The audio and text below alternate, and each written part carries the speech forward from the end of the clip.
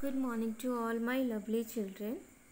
I hope you all are fit and healthy at your places. Today we will continue with our chapter 11 Plants and their uses. In the previous class, we came to know about plants. Plants are also living things just like us. There can be seen different types of plants around us in terms of they have different shapes and sizes.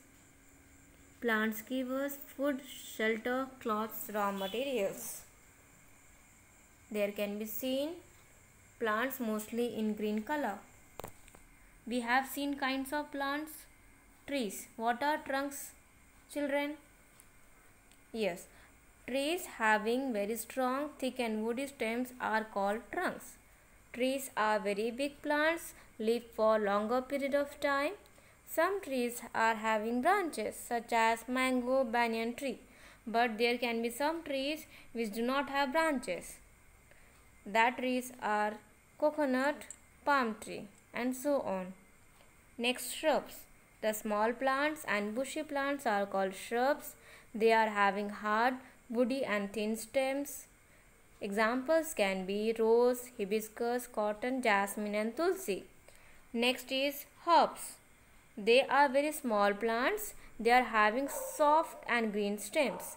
They are weak and they live only for few months such as tomato, mint, brinjal, coriander, etc. Next is climbers. What are climbers? The, this plant type of uh, plants have weak and soft stem they cannot stand straight. So what they do children? Yes, they take the support by climbing up on other plants or on walls or on sticks. Examples of these pea, grapevine, money plant, bean, etc. Next, creepers. Creepers are the plant that also cannot stand up straight. So what they do? Do they climb up just like climbers? No. So what they do children? Yes, they creep and spread along the ground. They do not climb up. Examples pumpkin, gourd, watermelon, muskmelon etc. They are having weak stem and thin branches. Next, water plants. These plants are also known as aquatic plants. They are smaller in size, having thin stem and broad leaves. Example lotus, water lily, water hyacinth. Next thorny plants. These plants have thorn on them. They grow in desert areas. They have very thick and leaves are also thick. Why leaves are thick? Because they live in desert areas due to the shortage of water, the leaves store water in it. Examples cactus, babul, aloe vera, etc. Today we are going to see Parts of a plant. A plant has many parts. Each part is important for the plant. Children, we are human being, we are living being. So, can you name some external parts of our body? Yes, we are having two eyes, nose, one nose, one mouth, two ears, hands, legs, stomach and so on. These all are our external parts. Do every parts are similar? No. They are different and their function is also different. So in the same manner plants is also having many parts. They are also having many parts and each part has different function to perform and they have their own importance. Let us see that one by one. In the picture given here we can see from the bottom itself. In in the bottom you can see below the soil that part is called as roots. It is spread below the soil along that soil. Okay? Then coming up upside we can see stem. Then from the that if we go upside there can be seen several branches that is dahlia. And in that leaves different sizes and shapes. Flowers also we can see different shapes and colors. Fruits also there can be seen various varieties of fruits now let us see about these parts of the plant one by one.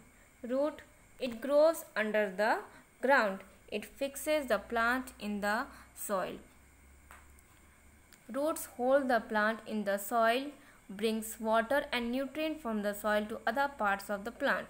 Usually underground, it can be seen underground and can also be seen above the ground. Okay, इनका काम क्या है? ये क्या करते हैं? Soil से water and nutrient collect करते हैं और बाकी पार्ट्स में डिस्ट्रीब्यूट करते हैं।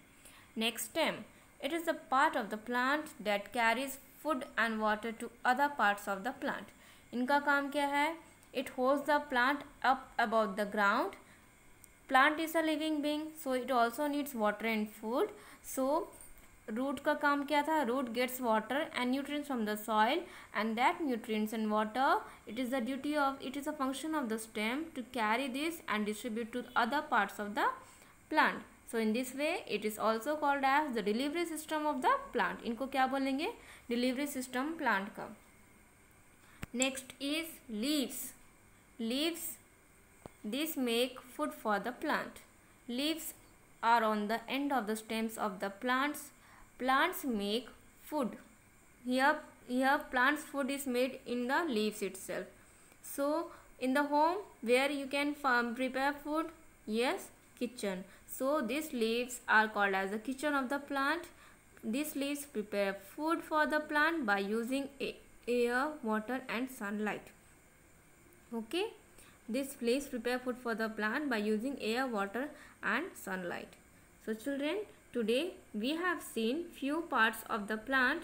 In the further classes we will see more parts of the plant and their uses. So revise this chapter again. Stay at home healthy. That's all of today's class. Thank you. Have a nice and cheerful day.